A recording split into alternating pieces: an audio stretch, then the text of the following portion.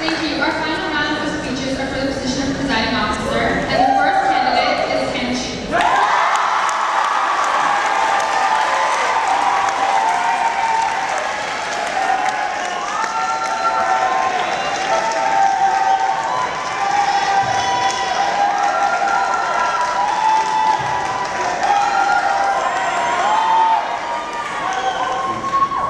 Hey everybody.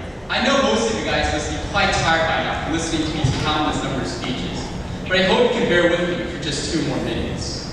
You know, I've been thinking about my life. I was curious, so I, I- so I asked my parents and their friends about their lives. I asked them, when was the most memorable time in your entire lives? And their, and then their answer was quite surprising to me. They told me that the most memorable time in their lives were their high school years. They told me that when they were in high school, they never realized how precious their experience was. But if they could go back and relive it, they would want to make that experience to be more meaningful. You know, think about it. You and I are in that moment of high school years right now. When I first thought about high school, it was all about the work. But I wondered, what made these people think that high school was the most memorable time in their entire lives?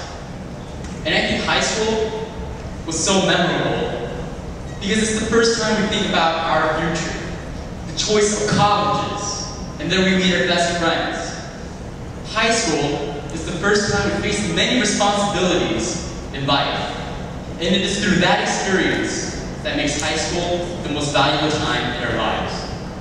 And I will be honored you give me the opportunity to take on responsibility as your presiding officer.